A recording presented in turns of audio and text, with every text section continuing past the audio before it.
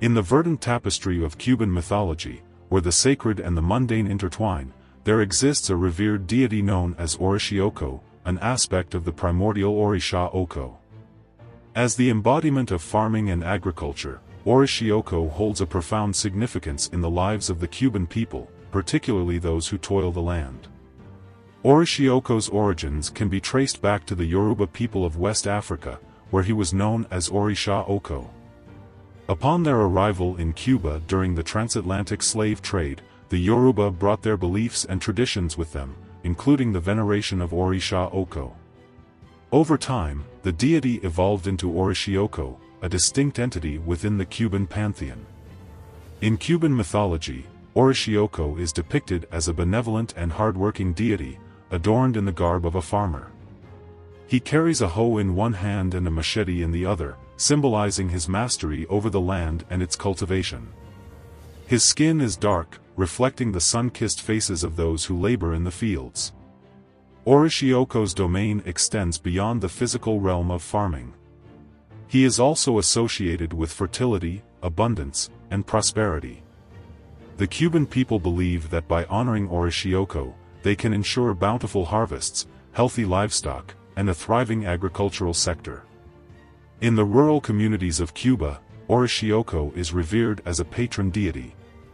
Farmers and agricultural workers often make offerings to him before planting their crops or tending to their animals. They believe that his blessings will bring forth a fruitful harvest and protect their livelihoods. The rituals associated with Orishaoko are deeply rooted in the traditions of the Yoruba people. His devotees gather in sacred groves or temples to offer prayers, sacrifices, and libations. They sing songs in his honor, accompanied by the rhythmic beat of drums. One of the most important rituals dedicated to Orishaoko is the Fiesta de la Cosecha, or Harvest Festival. This annual celebration takes place after the harvest season, when farmers gather to give thanks for the bounty they have received. They offer a portion of their crops to Orishaoko, along with other gifts such as tobacco, rum, and candles. During the harvest festival, devotees of Orishaoko engage in a lively procession, carrying his sacred image through the streets. They dance and sing, expressing their gratitude and asking for continued blessings in the coming year. Orishaoko's influence extends beyond the realm of agriculture. He is also revered as a protector of the environment and a guardian of the natural world. The Cuban people believe that by honoring Orishaoko, they can ensure the health and vitality of their land and its resources. In contemporary Cuba, Orishaoko continues to be a revered deity, particularly among those who work in the agricultural sector. His image can be found in homes, farms, and temples throughout the country.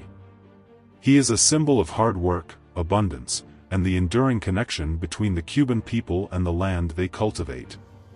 As the sun sets over the fields of Cuba, casting a golden glow upon the ripening crops, the spirit of Orishaoko lingers.